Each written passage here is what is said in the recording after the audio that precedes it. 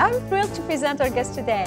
He is the president of an almost 100 years organization in the Washington, D.C. area. An organization solely devoted to promoting healthy eating, educating the community about food and diet-related diseases. This organization is also a champion of causes such as the environment, animal cruelty, and global hunger, to name just a few. Saurabh Dalal has been heading the Vegetarian Society of DC for many years now, and he has spearheaded many outreach programs dedicated to improve people's health. He has joined us today to talk about the role of a vegan diet in managing chronic diseases such as type 2 diabetes and also one of the best solutions to obesity. We welcome Saurabh Dalal. Thank you for having us on the show. Thank you for joining us. Um, so tell us about VSDC. What does it do exactly? I know you have a lot of programs, uh, sure. Uh, probably more than we can cover in this show. Okay, yeah, well, you know, VSDC is an all-volunteer nonprofit, and so we uh, promote the many benefits of vegetarianism throughout the metropolitan area. Mm -hmm. So that includes the Fairfax, Northern Virginia area, as well as DC and Maryland. And we plan about five to seven events per month. So we're very active, and we're also one of the oldest vegetarian societies. We're the oldest in North America because we were founded in 1927. I didn't know that. Yes, yeah, so the oldest in North America. And uh, we plan monthly events. And so the events range from a monthly potluck to restaurant visits to a monthly book club. We also have special emphasis groups. So we do an African American networking group, we have a singles group, we have a GLBT group, and a new children's play group. So we try and involve all the members of the community. And so everything we do is educational as well as community building. And we also try and have fun. We had uh, Tracy McQuirter as our guest uh, a few weeks back, and she was telling us about the Eat Smart, which mm -hmm. is mm-hmm. a, a program uh, started by VSDC, and That's she right. was involved in putting it together. Yeah. Uh, can you tell us about Eat Smart? Sure. Okay. So the Eat Smart program, it's um, something we actually have written grants for, and we were funded. So it's a funded program, and what it does, it um, helps um, bring uh, information and strategies and ideas for populations that are, say, higher risk for diet-related diseases. Mm -hmm. And so we mm-hmm. show them with nutritional classes, with cooking demonstrations, um, how do you shop, where do you shop, how do you eat healthfully when you're out. So it's really a how-to class as well as a why. Is there such a thing as eating healthy when you go to restaurants? Um, there can be, and you can. You can certainly choose healthier meals than others. So I think you just have to kind of focus on what are the ones that are a little bit more fresh, less processed, moving away from the animal products, more plant-based foods. It's um, fruits and vegetables and grains, and you can make so much out of them. So as you guys are going to demonstrate uh, later yes, today, you're going to find phenomenal food, and it's easy. So um, I would like to introduce our next, next guest, Carmen. Carmen is a student of Eat Smart. Yes, she's actually been through the program, and we're really happy to have Carmen with yeah. us too. Carmen, why, uh, tell us a little bit about your um, diet before you joined Eat Smart. Um, it was the typical American diet, you know, high fat, high cholesterol, um, eating ice cream in the middle of the night, but, you know, little crazy stuff. And what prompted your interest in a vegan diet? Because that's a pretty tough transition. Well, it wasn't really that difficult. Um, I actually went through shingles, and as I was coming out of it, I found out about a vegan diet, and then um, I found out about the Eat Smart program. I thought it was a cooking class first, and when I went to it and I found out, I started reading labels, which was something that I didn't do as much before. I started losing weight when I first became vegan, but once I started reading those labels, I lost a lot more weight, so I've lost over 30 pounds. 30 pounds? Yes. Congratulations. Thank you. In how long? Um, well, it's been for three years. I've kept it off for three years. So that's a very good feeling yeah, because it's fun to shop. And that's the most difficult thing for people who lose weight is to yes. keep it off. It is. Uh, it is. You know, anyone can lose weight, but that's keeping true. it off is the real thing. It is. And I look younger than I did when I before I started all of this. Okay. Well, you look wonderful, thank and you. keep up the good job. Thanks. Uh, thank you for uh, thank you for joining us today to, to give us this here. information. That's a really interesting story that Carmen has lost 30 pounds. Pretty amazing. That absolutely is, and, and I would have never guessed.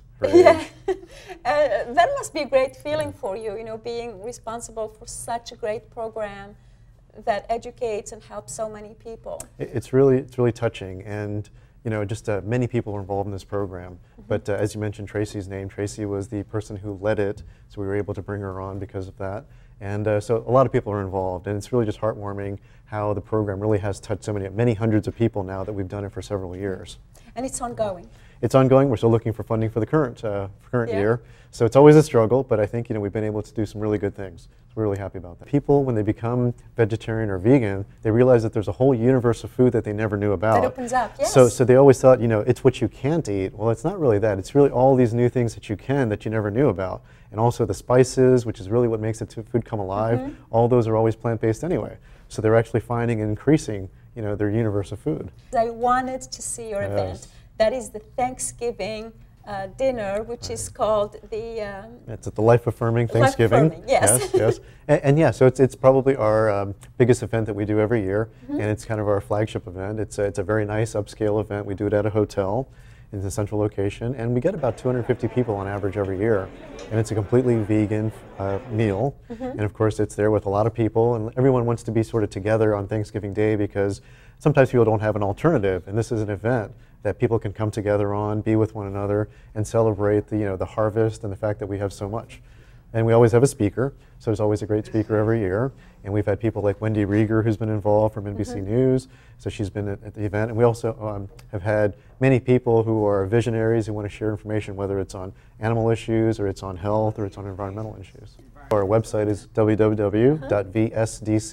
That stands for the Vegetarian Society of DC, so vsdc.org.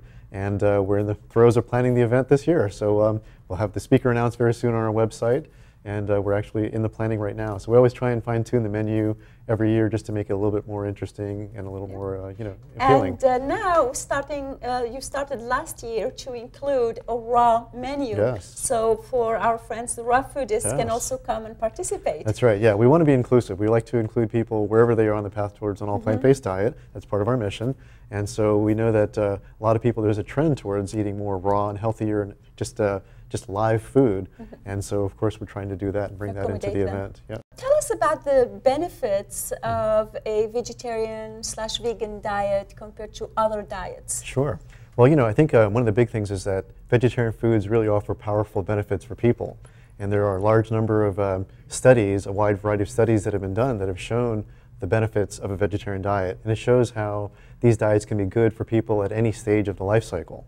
And so, as you probably know, um, animal products are the only foods that have uh, cholesterol, dietary cholesterol. That's true. And so plant foods have no dietary cholesterol. So that's, of course, a great thing. And also, animal foods are the main source of saturated fats in people's diets. And also, it contains no fiber. And we also know that fiber does you know, wonders for decreasing blood cholesterol levels and all that. That's correct. So, this is why plant foods are really powerful and they offer so many benefits. And we've shown that uh, preventing and reversing heart disease, preventing certain types of cancers, preventing and reversing uh, diabetes, and then lowering blood pressure, managing weight. All these are some of the successes of a vegetarian diet.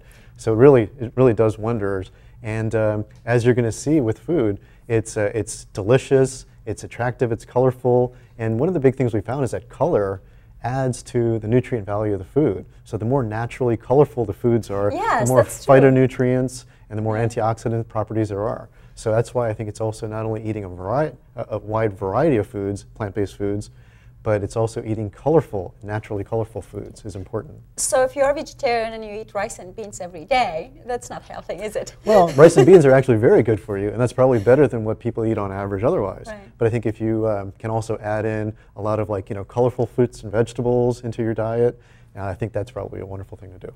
The amount of resources that are needed to produce foods that are animal based on animal products is much greater than if you eat the plant foods directly. So in terms of food resources going into animals, and then in turn eating the animals, and then the water that has to go into the system, uh, the amount of land that's used, the amount of energy that's used, it's much, much higher. It's far more inefficient to eat a diet that's based on animals than it is to eat a diet on plants. And some of the numbers are it's, it's not just a matter of like 20% or 50% more efficient, it's multiple times more efficient. So it can be 5, 10, 15 times hmm. more efficient to eat a plant-based diet than to eat a diet that consists of animal foods. And can I just also mention our website again? That's the best way to reach us, Yes. and it's www.vsdc.org. And we also run the vegan meetup, and that's actually free and open to the public. You can it's an online organization. Mm-hmm. Just search for meetup.com, mm-hmm. and then go look for the DC area, and you'll find the group there. And of course, we have many activities as well as many resources.